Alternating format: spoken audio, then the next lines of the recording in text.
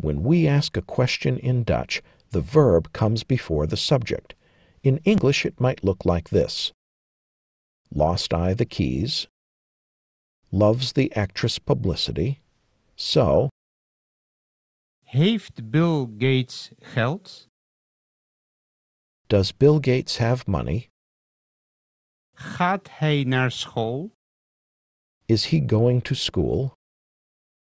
Eet een sumo-worstelaar veel?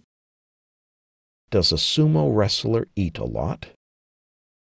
Words indicating time periods go after the subject.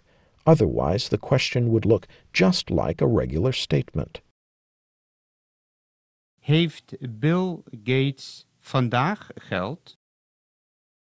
Does Bill Gates have money today? Gaat hij morgen naar school?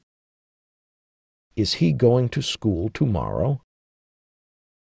Eet een sumo-worstelaar soms veel? Does a sumo wrestler sometimes eat a lot?